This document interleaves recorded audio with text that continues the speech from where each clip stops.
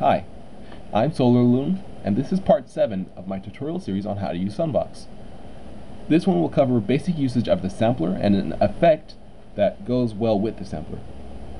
Now, what we're going to do is just right click and create a new sampler and connect to the output. And now we're going to click load to load in a sample. So what we're going to do in this tutorial is basically get a sample to adhere to our song's BPM.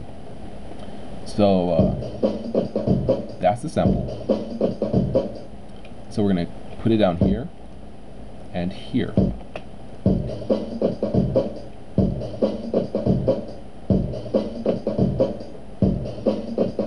So as you can hear and see, it doesn't stretch all the way to the end of every 16 bars. It's, it's too fast. We could speed up our, our song, but say we don't want to speed up our song, but we like the drum beat and want to have it in our song. So we want to have this faster drum beat in our slower song. We want to slow down the sample. So the way to do that is to use the seven um, effect number seven, which is set sample offset by a percentage. And so we're going to use this, and now the fast way is just going to uh, select the row, click and drag, select the row, right click, go into edit, and then click uh, duplicate, you know, drag it all the way to, make it, duplicate it all the way to the bottom and so we'll only use these 16 and we'll copy it and put it again. So we're just going to put it down to 8,000 which is the end of the um, sample. This is working on a percentage basis so 0 0 0 0 you can't it's not there because it's all zeros. But uh, zeros is the beginning of the sample and 8,000 is the end of the sample 0 to 100% so we're going to click and drag and uh, to the 8,000 mark and then go into edit and select interpolate control values copy and paste it.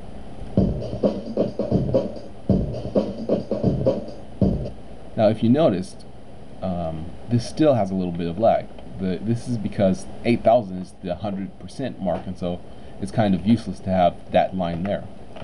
So what we're going to do is instead push it to 7,777, the, the uh, next to last note, next to last line. And so we're going to copy and paste that instead.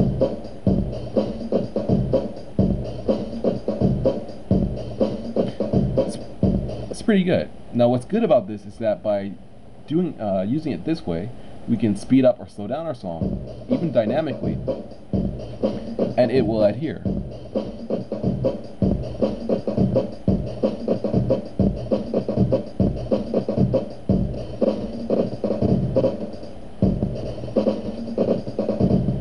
At least to a reasonable degree. What's also good is that we can even use higher pitches which will play faster but because we're triggering triggering the samples uh, manually, it will again adhere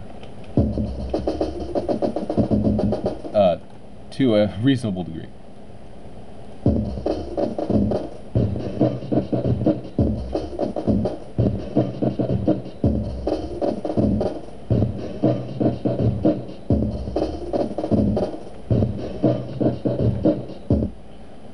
Okay, so obviously the, the higher samples play faster and so it's more likely that it won't sound as good. But the low samples uh, play slower and so you can usually get a pretty nice sound out of it.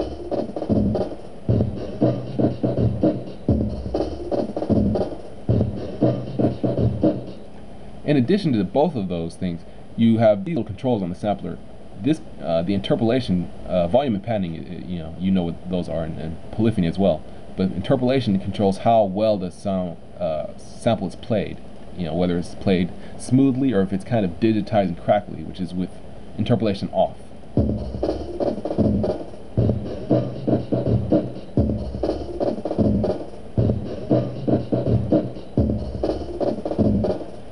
In certain samples, it's a slight difference. In others, it's a big difference. So I just wanted to add that in there too.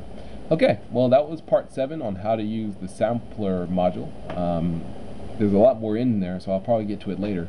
But um, thanks for watching, and hopefully I'll see you, well, I'll give another tutorial that you'll watch.